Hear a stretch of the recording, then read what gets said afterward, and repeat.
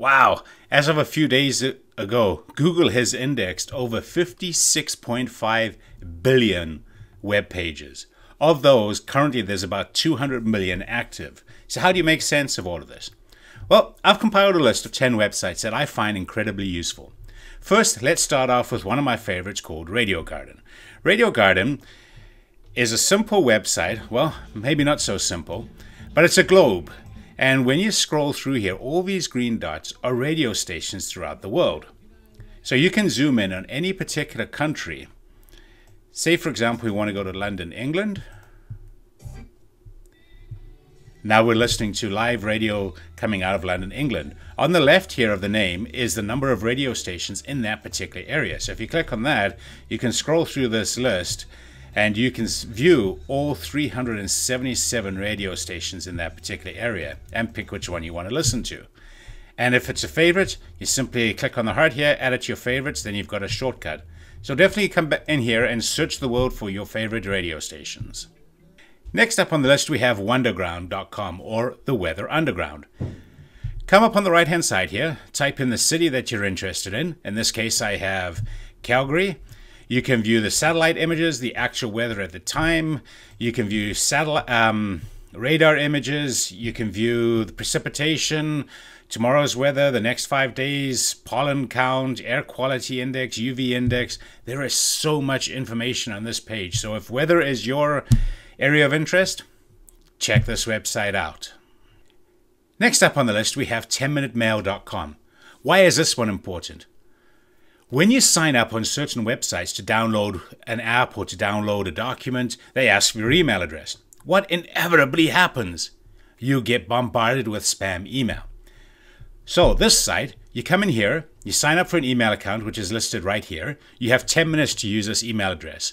You go sign up for that website or that service that you want. They send you the verification email. Click on your inbox right here once the email comes in and you can give them the verification code. So it's a legitimate email, but it gets deleted after 10 minutes. So you don't have to worry about spam.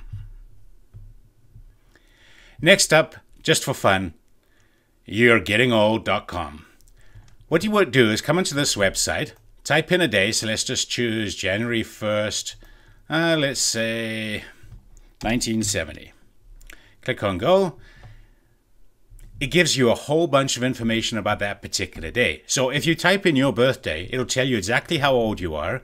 Um, it'll give you some information on that day of who else was born at the time, some various historical events that may have happened at that time, what your star sign is. Scroll through this list. There is so much information, and it's really interesting to view it. FlightRadar24.com. The next website up is viewing flight information across the world. You can zoom in or out of any particular location. The more you zoom in, the more information you will get. So if, for example, we're zooming into Cal uh, Vancouver right now, we can see all the planes that are currently at the Vancouver airport, including ones that are taking off. It even shows you helicopters that are flying. If you click on a particular aircraft, you can see which one it is, its um, origin, its destination, as well as a whole bunch of other information on the left-hand side. So if you're one that's tracking an air, air flight from family that's going somewhere or coming to visit you, really handy website to keep track of them. Oh, come on. Don't lie. How many of you out there are really nostalgic and want to go back to the 80s arcade games?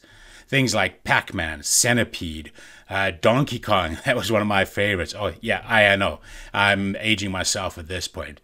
But any all of these old fashioned games they're all on this website, free80sarcade.com. You cannot go wrong with these. They, like I say, they're free and they're very nostalgic for those that grew up in that era, such as Space Invaders. So give this a check. What's the worst thing that could happen? You'll lose a bit of time as you get immersed in these old styled games. Next up, we have noises.online. Why is this useful? Well, most people cannot work in absolute silence, but they don't particularly want loud music playing. So on this website, come in here and pick a combination of things. Say, for example, you wanted rain. Click on raindrops and it'll start playing music in the background that's associated with rain.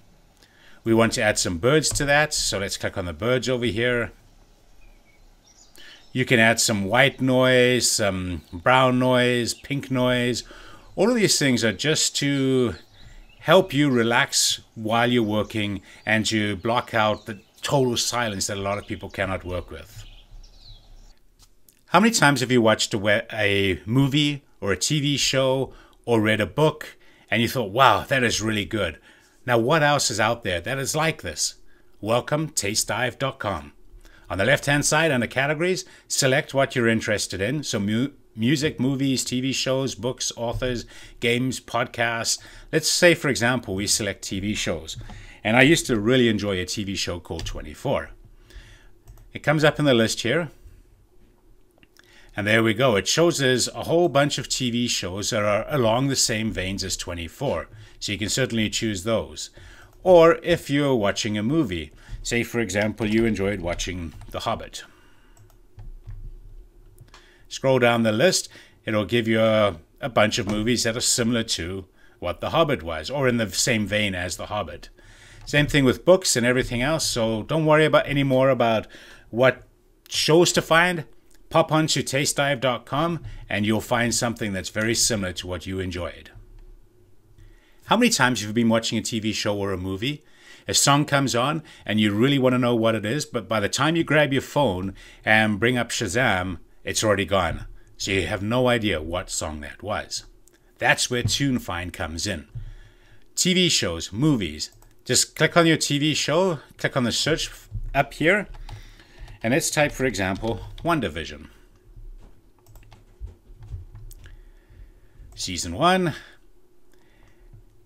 and we can see that episode 1 has 13 songs, episode 2 has 11 songs. When we click on the particular episode, it'll list all the songs that were in that particular episode of that TV show. Same thing applies to movies, including links to how to get the song on Amazon, Apple, Spotify, YouTube, and so on and so forth. So don't guess what the song was anymore. Just pop up into tunefind.com and it's easy.